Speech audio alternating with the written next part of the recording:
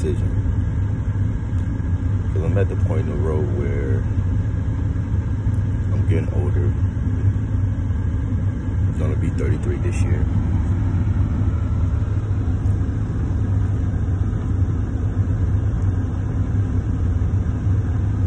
And I'm at the point where I don't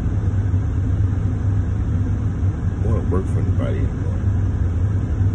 I've been employed since I was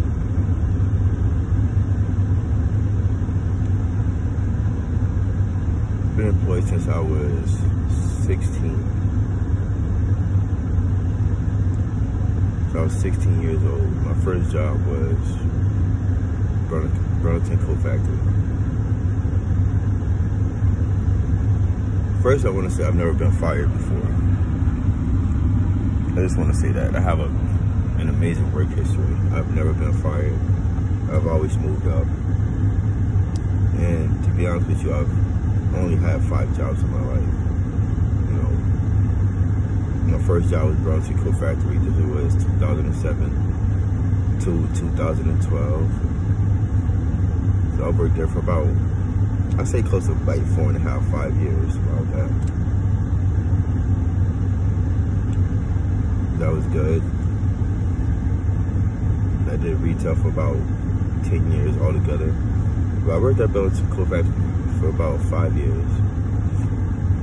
Um, started off as a sales associate.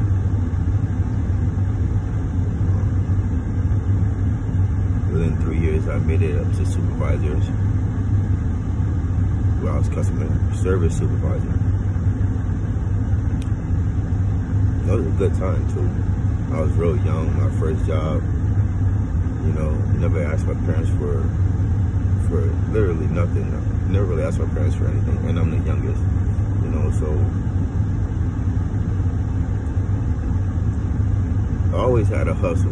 You know, I always had a hustle to go get my own, not rely on nobody else. My father, when when I was young, he, he always told me that, boy, ain't nobody ever gonna give you nothing. You know, and I live by that, right? So when I turned 18, I was stable.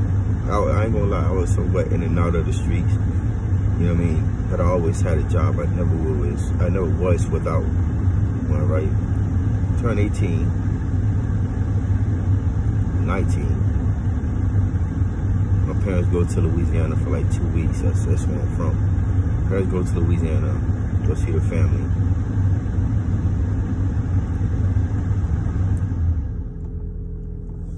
And then they come back and I'm out of the house. Father never asked. He never questioned. He already know. He already. He always knew that I would be straight. Um.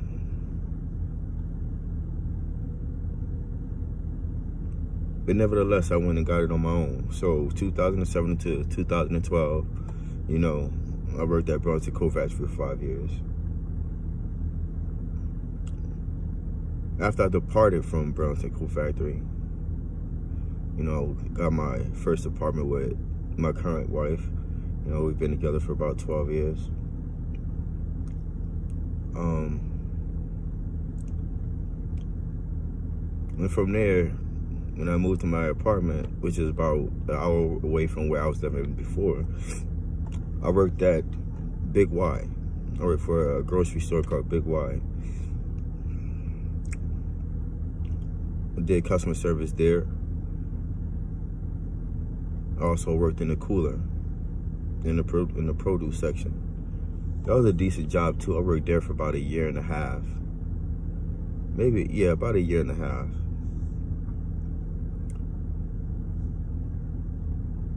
from there, I departed from there. I moved again, my wife and I. She was my girlfriend at the time. We both moved, excuse me. We both moved and um, I started working for Target, early morning shift, 4 a.m. shift. And I started working for Big Y. These, both these jobs were a year, I mean, a week apart that I started those two. And both of those jobs, I worked there for two years. All right. So I would be up at what, 2.30 in the morning, get up, go to work, be there for 4 o'clock. And I'd be there from 4 to about 12, 1 o'clock in the afternoon. And from there, I went to, Bur I mean, I went to uh, Bed Bath and Beyond. That's crazy. All Every job that I had, damn near started with bees. That's funny. But yeah, uh, and I say from about 2 o'clock to 8 at night, I'll be at Bed Bath and Beyond. So I was putting up about 14 hours a day for about two years, six days, you know. Um, and both of those were, I'm not gonna say the best paying jobs, but they were fun. They were, they were fun jobs. I got to communicate with people. I got to learn how to sell. You know, uh, the basic one was was Target. You know, because all I was doing was unloading and restocking and stuff like that. Then I developed to become a a team lead where I worked in soft lines. If you don't know what soft lines is, soft lines is the clothing department. You know, um, that was pretty cool. But Bed Bath and Beyond, I actually had to learn how to sell. Not saying that it was commission because it wasn't, but I had to learn how to sell. I had to take six months of classes um, because they diversed in all different types of product that, you know, when it came down to detail, you know, making sales, and this is all around the board. You have to know what you're selling, how to sell it, how to convince the customer to believe in what you're selling them, you know, because you want you want you want whatever you're selling them to to fit them, their lifestyle, personality, whatever it may be. You want it to be custom for them. So I had to take six months of classes, you know, in which that was it was it, it was a good time, you know. Uh, but I'll say Burlington Coat Factory. Let me go back to Burlington Coat Factory. I worked at Burlington Coat Factory for about about five years, and it was a learning curve for me. And I'll say about every week I probably made about 250 to 300 dollars a week because it was weekly. Big Y I made about 250 to 300. Then I went to Burlington, I mean to Target and Bed Bath and Beyond. And between those two, I brought in about 600 every two weeks. You know, both of those jobs were bi-weekly, you know, so, um,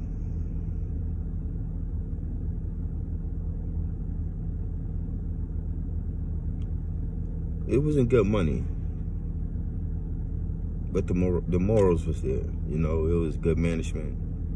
You know, you met good people. And that's all you really look for, like for a comfortable environment to work for when you work at any job, find any job, you know. So from Target and Bed Bath, I departed from there. And I started working for the company that I currently work for now, which is come, coming up on my six year mark in March, right? This job that I work is a great paying job.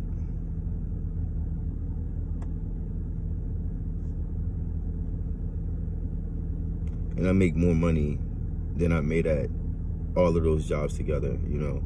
Um,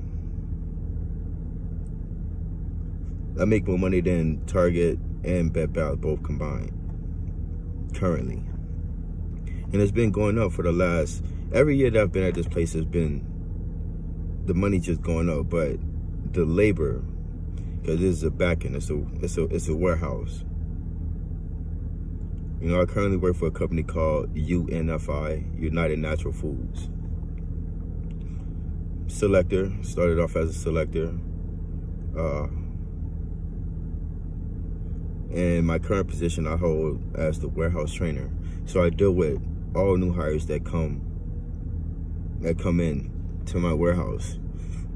Train them on machines, electric jacks, forklifts, cherry pickers. You know, um, these are things that that we require when you come and work for us, right? You know, ever since I've started this job, the money's good, all right? The people that I work with around, they're good people.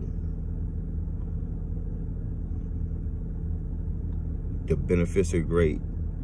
It's a great 401 retirement, life insurance, long-term, short-term. You know, um, it's all good, but it's a sacrifice that comes with that. And I've sacrificed a lot of my my personal life.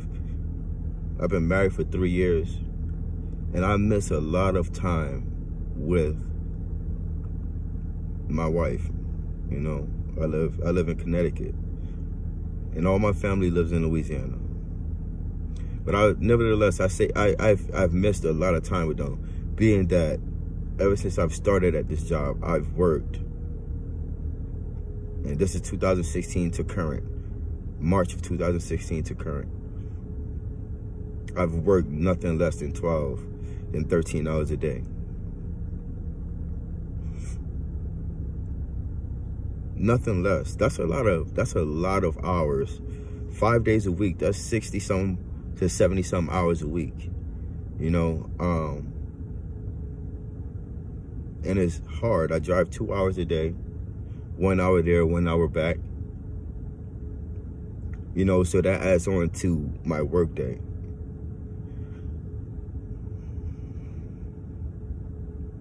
But every year that I've been here, it's just gotten worse and worse.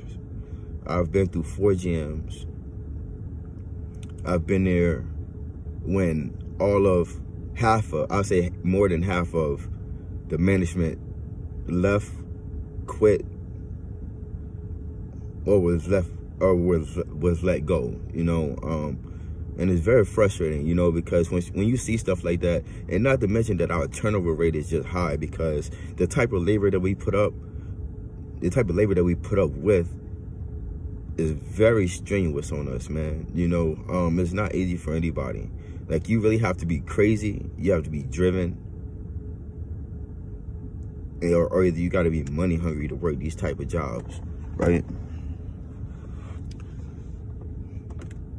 The most hours I've worked at this place is like about 18 hours.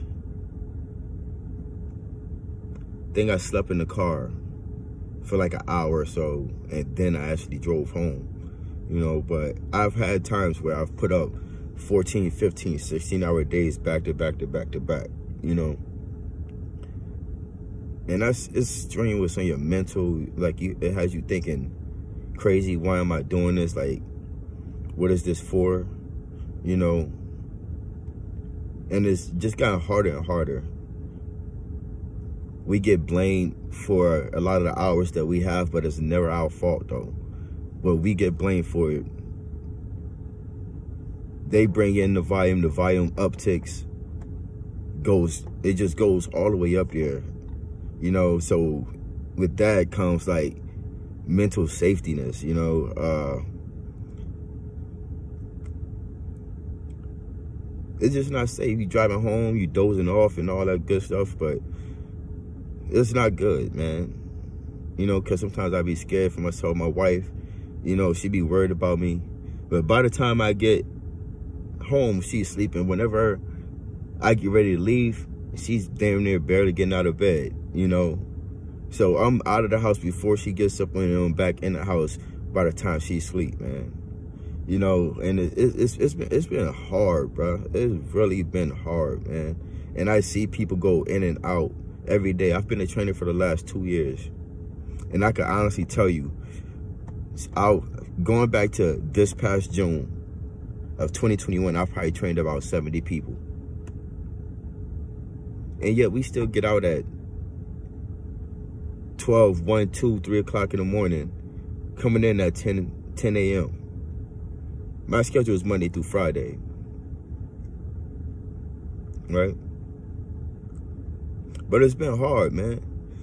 Um, right now I'm on my fourth GM.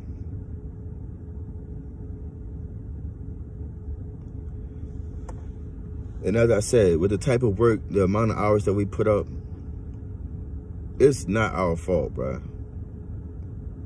It's not our fault that we work all these hours, that we get people, I train people every week, and we still don't get to where we need to be. And I you, I'm not a supervisor. I've been offered supervisor and I've turned it down.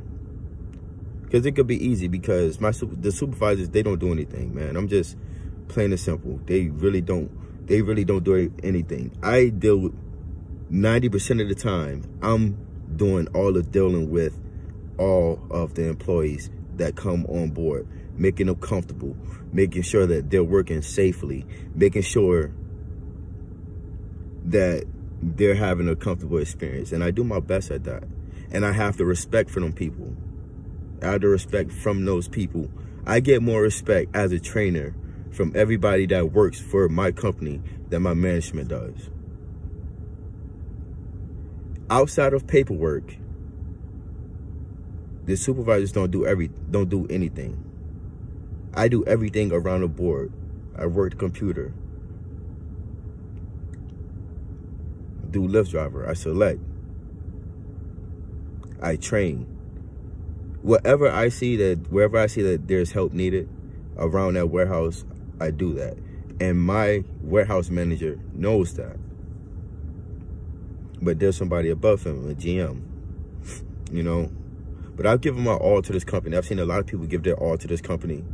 I got people that's been there for like 10, 12, 15 years and a little higher. And they're getting to the point where they just don't want to be there. And I asked them, why, why aren't you management or whatever? Because, well, they say the same thing that I want. Like, same thing that I say. They don't feel comfortable being that management because they don't feel like they got it together. And I 100% agree with them. You know, um, it's very stressful, especially being that it's a food's warehouse.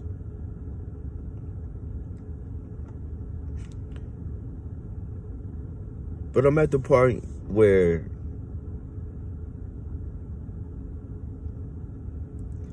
it's just frustrating, bro. Like I be wanting, I'm not gonna lie, I be wanting to cry sometimes, but I don't.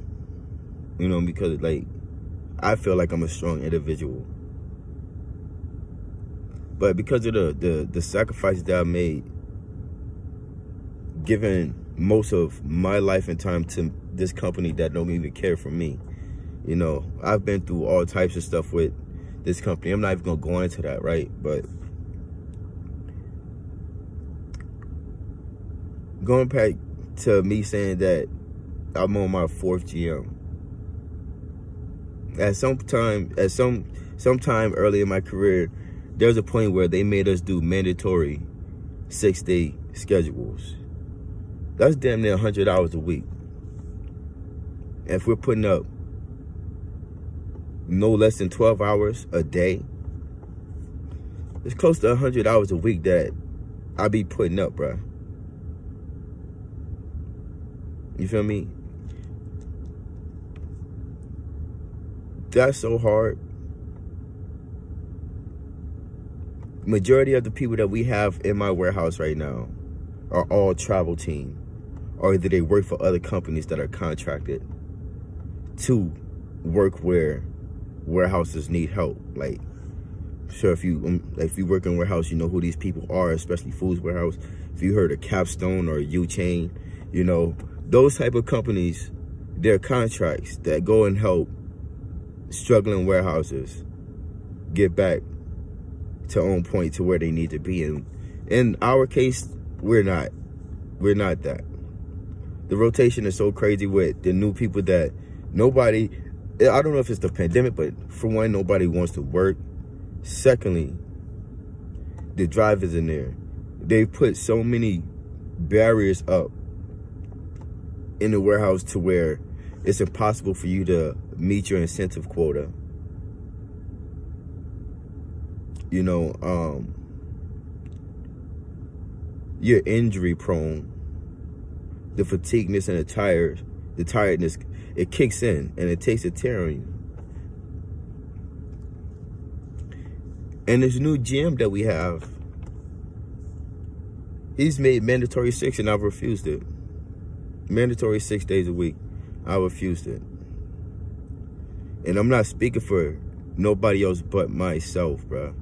I'm not speaking for nobody else but myself because it's it's hard enough. And I know a lot of people are coming up on the point where they just want to quit. Because I know people there, like, I've seen I've seen it where people don't even last like their 90 days. People don't even last their 90 days, bro. And it's so bad, I don't even refer anybody no more because I know that they're not me.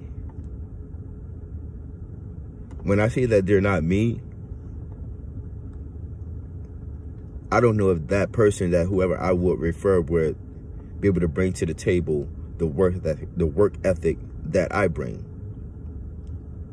Because I can get a sign-on bonus off of them, but taking the chance is not worth it. It's really not. I tell people about it, but don't use me as a referral. So right now we're on mandatory six. And I'm at the point where I just don't want to, I'm, I'm not doing it, bro. I got a text message today from my job because I have, I work Monday through Fridays and I have Saturdays, Sundays off. Got a text message from my warehouse manager saying that I better get to work. I better get to nothing but relaxing with my with my wife, giving my wife the personal time the quality time that she needs, that she deserves. This woman has been with me for 12 years, about to be 13 years. That's what I better begin to. With these with these warehouse jobs are requiring is for you to sacrifice your personal family time, even if you got kids, for whatever they got going on. And they blame you for whatever they got going on, which is not your fault. But they tell you it's your fault right?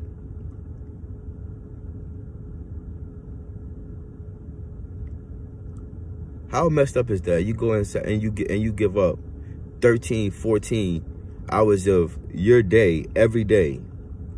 And then your job tell you that it's not enough.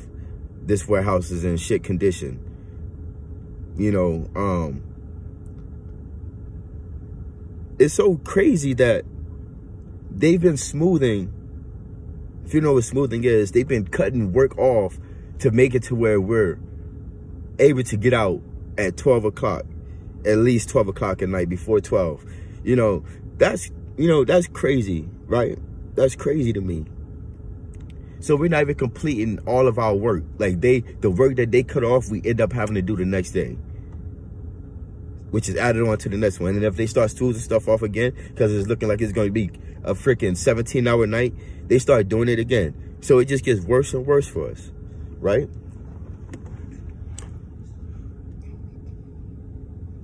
How frustrating is that?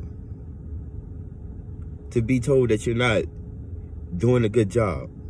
That we're going to try to force you guys to come in and work six days a week. And take time away from your time, the family that, that you love and care for. And if you don't, you're being threatened with termination. If you don't come in on your sixth day. Let's say I've been here, I've been here for about six years now. It's coming up in March, as I said.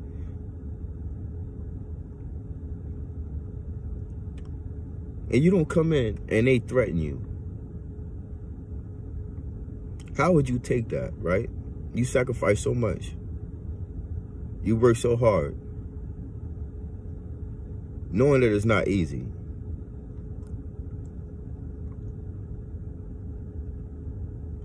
So this text message come in. My wife is sitting across from me. I tell her, I'm like, baby, my boss just texted me. He say, you better get into work. I'm gonna be honest with y'all. I didn't even open the text message. Because when I go in tomorrow, I'm expecting them to call me upstairs for a conversation. And that's cool. But eventually I'm gonna end up getting terminated from this job. Because I'm not gonna let them walk over me. I know what my worth is. I know what I bring to the table. And I have a feeling that that day is coming. My brother-in-law that was there before me, he, he was there for 10 years. He's recently departed from them because it's requiring too much. He got brand new twins. He also has my my nephew, his uh, eldest son, which is only about to be eight years old. But my brother-in-law's sacrificed and lost seven years of time from his son and his wife. It's so much going on that he didn't even get to actually do his his actual job for almost a year. So he quit. Put in his two weeks. Then he departed from there. And he brought me there. And when he told me that uh, he was departing, I was happy for him because the smile on his face, you, you know, it's crazy you know, the smile on his face. You know, I know he didn't want to leave. But he had to do what he had to do. Now I'm coming to you guys for advice. I have a decent savings. But I don't want to, I don't plan on working for anybody anymore. I really don't want to work for anybody anymore because I've done it for so long. And I'm thinking of how I could go about my life after I separate myself from this company. Whether they fire me or I quit. I never quit anything. I would rather them fire me, you know, because the smart thing would be is for let them fire me. I collect but I do something with that money. My 401k, I have a hefty 401k. I'm trying to, count I'm contemplating taking out all of my 401k. Putting half of it into a hedge fund, the second half invested into something else that'll be beneficial to my lifestyle and to where I know that me and my wife could lead a, a, a happy life, you know. Um, and I'm not saying that we're not happy right now because we are, but we could be better. And I'm looking for advice for you, from you guys. What can I do with my 401? I say I got about 45,000 and just to be straight with you in my 401 what can or should I do with that 401 that could help me make money over time for the rest of my life? It's a sacrifice, I know. It's a scary sacrifice. This is a big leap of faith. Oh my God. It's a it's a leap of faith, but I'm just tired, man. if you guys could help me out, let me know what is it that I can do to put me in a position to where I don't want to have to work or I don't have to work for anybody anymore. Because everybody's goal is financial freedom. And I'm not saying that it's just going to come at the snap of the finger because I know it's not. So I'm looking for advice. I need you guys' help. If you could like, comment, and subscribe to this YouTube, my YouTube. I am Parlae.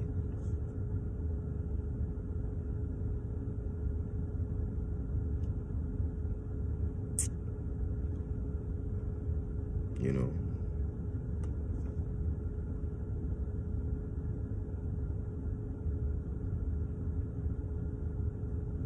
It's normal to be nervous about decisions like this.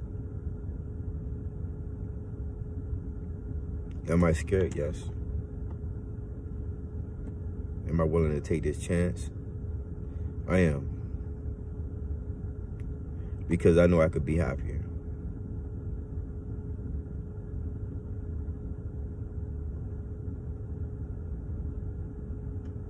Like, comment, and subscribe let me know. Let me know what I can do. What I should do after I depart from this job. Okay? Thank y'all. You know, y'all get back at me.